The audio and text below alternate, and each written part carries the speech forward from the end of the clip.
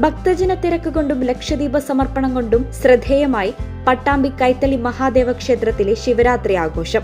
ഒരു ലക്ഷത്തി പതിനൊന്നായിരത്തി നൂറ്റി പതിനൊന്ന് നെയ്ദീപങ്ങളാണ് ശിവരാത്രിയുടെ ഭാഗമായി ക്ഷേത്രത്തിൽ തെളിയിച്ചത്.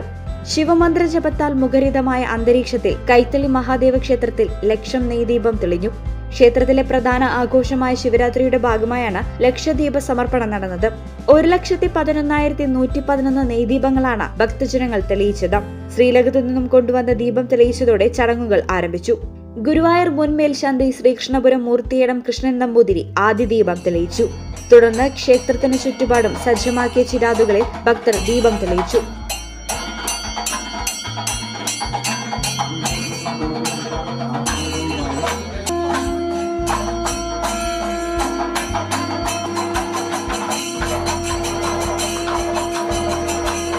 ശിവരാത്രി ആഘോഷങ്ങളുടെ ഭാഗമായി പ്രശസ്ത സിനിമാ പിന്നണി ഗായകൻ സുദീപ് കുമാറും സംഘവും അവതരിപ്പിച്ച ഗന്ധർവ സന്ധ്യയും അരങ്ങേറി.